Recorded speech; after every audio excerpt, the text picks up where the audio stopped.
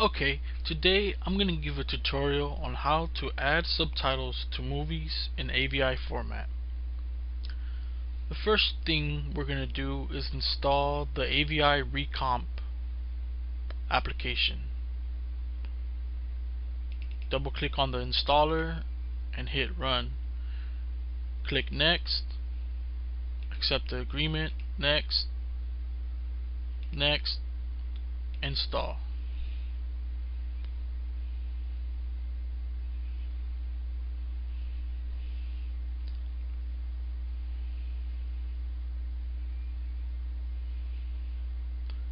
You're going to notice a few windows are going to be popping up and it's basically just applications that need to be installed in order for this uh, to work.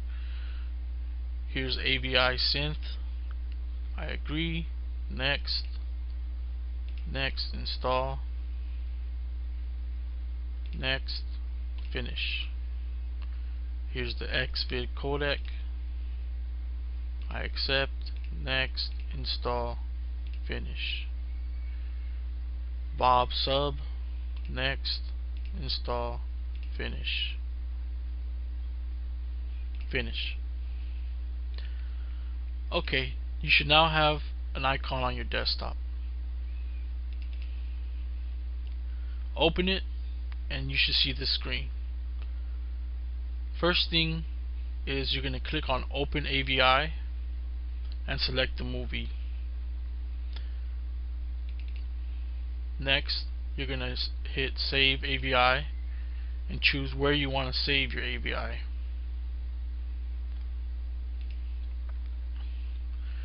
take note of this down here new AVI size. It's basically telling you what size you want your AVI to be if you're going to be putting it on a CD for instance you would choose 700 megabytes. If you're going to be putting it on say a DVD I would choose 2350 whatever the case you can set the size. Next you go to addition you go under subtitles and hit enable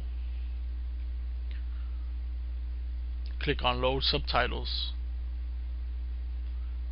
Your subtitle file is usually going to be in a SRT format. Go ahead and click on your SRT next settings. Under job settings process priority is basically how hard you want the computer to work while encoding your movie. If you're going to be using your computer, say for chatting or web browsing, I would leave it on idle. But if you're going to say leave and leave your computer unattended, I would leave it on high. High also encodes faster. Next, go to Q. queue hit add to queue select file. Hit start. Your movie will now start demuxing and encoding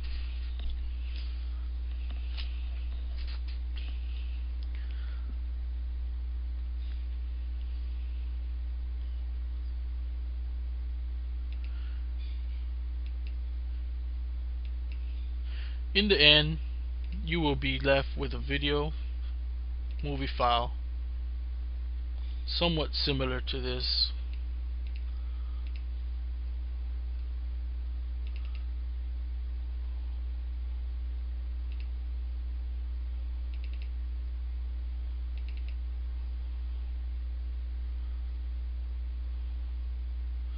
That concludes this tutorial. Thank you.